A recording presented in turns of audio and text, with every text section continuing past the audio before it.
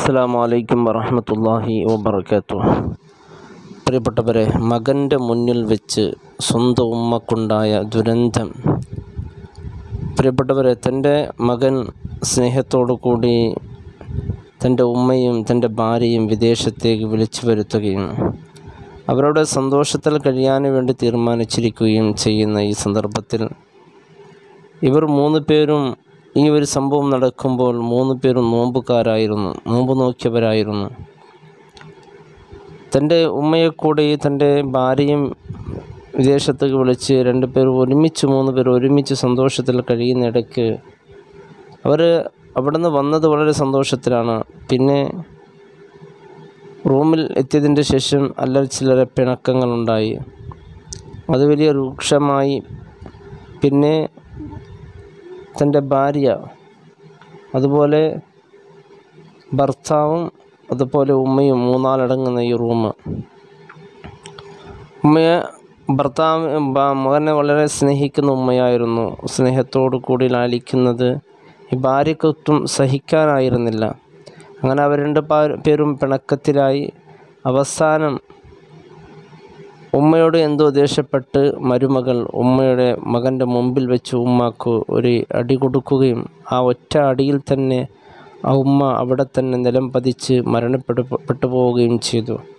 Ruby എന്ന ഉമ്മ അതുപോലെ ഈ അടിച്ച ആ മരുമകൾ സജ്ന എന്ന് പറയുന്ന മരുമകൾ അതുപോലെ ഭർത്താവ് മുഹമ്മദ് സഞ്ജു എന്ന് പറയുന്ന ഇവരുടെ ഈ ഒരു സംഭവം കേൾക്കുമ്പോൾ മനസ്സിന് വേദനിപ്പിക്കുന്നത് മൂന്ന് പേർ നോമ്പുകാരായിരുന്നു എന്നതാണ്.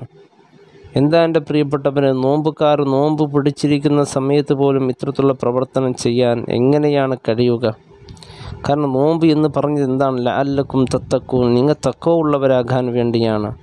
ആ നോമ്പ് പിടിച്ചിരിക്കുന്ന സമയത്ത് എങ്ങനെ ഇത്രക്കും രൂക്ഷമായ ശക്തമായ ആ ആക്രമണം പ്രകടിപ്പിക്കാൻ സാധിച്ചു എന്ന് നമ്മുടെ നോമ്പിന്റെ അവസ്ഥ അത്ര അത്രയേ ഉള്ളൂ.